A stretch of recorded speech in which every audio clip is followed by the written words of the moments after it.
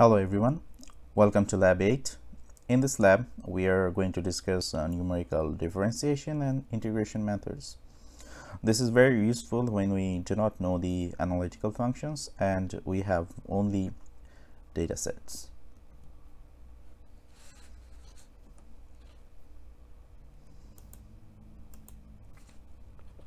There are three numerical differentiation methods, forward finite difference, backward finite difference and centered finite difference. As you can see uh, from the picture, there are a number of data points on the line along uh, x direction. It starts from i equals to 0 where the data points are uh, all equally distant which is represented by h. So for forward difference uh, scheme, if we want to determine the derivative at a certain point, let's say point i, we need to know the value of the function at i as well as one point forward i plus 1 then uh, we divide uh, uh, the difference of the function values uh, by the difference of those points or the this is called the step size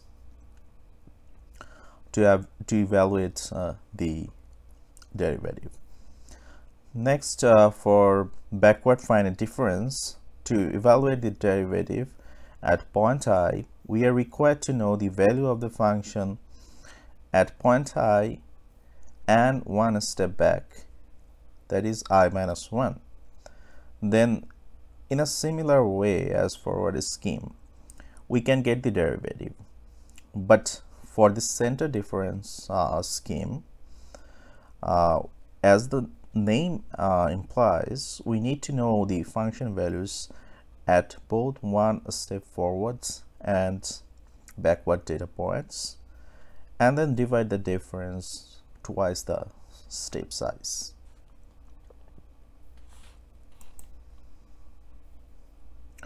we can determine different orders of derivatives. In the previous slide, we discussed basically first order derivatives with uh, three respective approaches.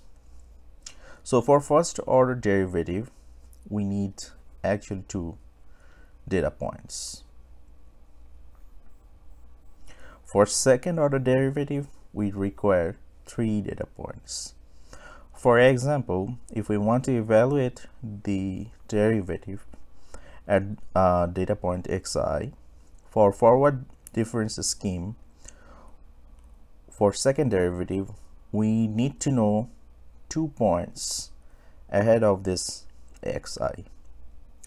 Similarly, for backward scheme, we require two consecutive points behind this uh, xi and for a center difference we see that this xi point where we want to evaluate the second order derivative lies in between i plus 1 and i minus 1 now regarding the accuracy of each method we see that with the increase uh, of number of data points we could improve uh, the accuracy of our estimation. We can precisely determine the accuracy uh, from the Taylor series where we can truncate the series and look for the order of the step size of the next term which eventually determines the order of accuracy. But for, for this lab, lower order method is sufficient and help us learn better. Let's do an example in MATLAB how we can represent the derivatives. Here we have 12 equally spaced data points uh, along with the function values at those points. We are asked here to determine first and second order derivatives at each point and the scheme must be second order accurate. If we consider evaluating first derivative at the first point we require three points to maintain second order accuracy. In MATLAB we can write the formula easily but make sure how you were defining the variables. Here dy denotes first uh, derivative. And it doesn't matter how you define it but be careful that uh, the bracket after the parameter means that MATLAB is storing the value in in a table where the number designates its position. And on the right side we simply write the uh, formula according to the finite difference scheme where brackets uh, for x and y denote that the position of the data point and function values respectively. For example, xi represents the data points minus 1, x2 represents the data point minus 0.5, y1 represents function values minus 3.632 at data point minus 1. Y2 shows the function magnitude at data points minus 0.5. For the second derivative at the first uh, data point, we require uh, four data points to ensure that the scheme is second order accurate.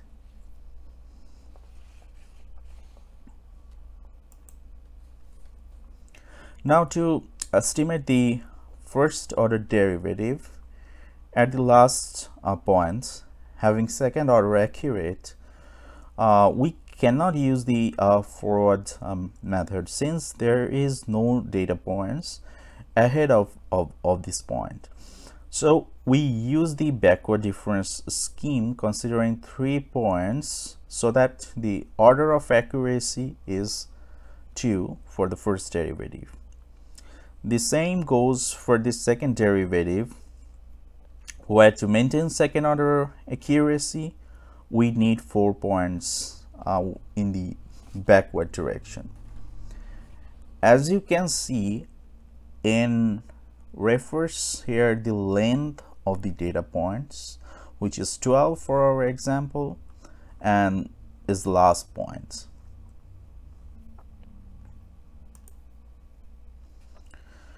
To calculate the derivatives at all other points in between the first and last points, we can create a simple for loop in MATLAB to represent the derivatives as well as our respective data points and function values.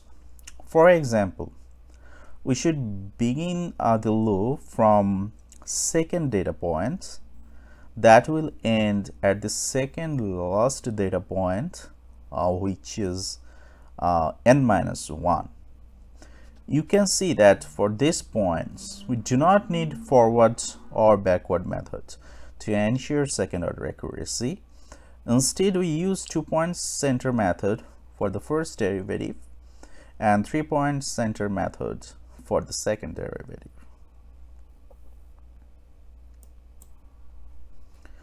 After we are done with evaluating our first and second derivatives at those 12 data points, that have second order accuracy. We can plot them sequentially in MATLAB by using the uh, subplot command. Here, first plot shows the function with respect to the data points. The second plot is for the first derivative. And the third one is for second derivative at uh, the corresponding data points. Since there are three plots altogether, uh, by the brackets, uh, uh, of this uh, plot command, we mention the position of the plot. For example, uh, 3 refers the total number of plots, then 1 refers the figure number, which is 1, and the next one actually the plot itself.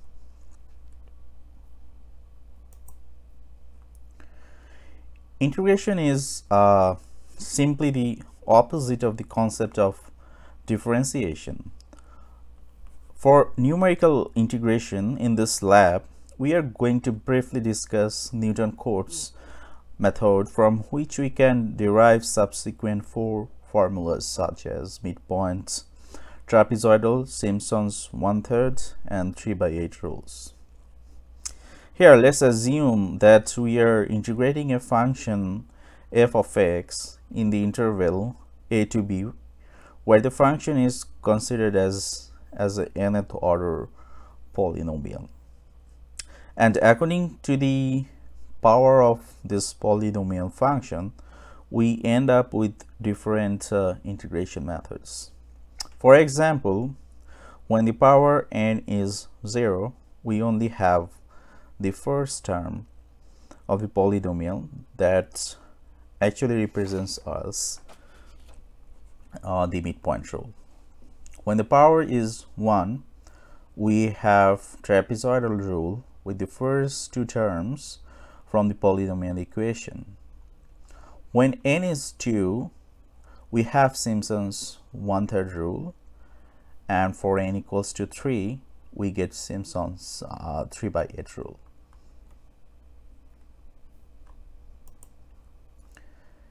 In your assignment for problem 2, there is a term mentioned error function. So what does it mean actually? Error function comes from the integral of a standard uh, normal distribution which gives you an idea of the probability that a parameter of interest lies within a range. In MATLAB, the function ERF determines that. For example, if we like to know the error function of a number, we simply use the function that returns the probability of that number is within a, within the defined range. Similarly, for a matrix, we can determine the error function.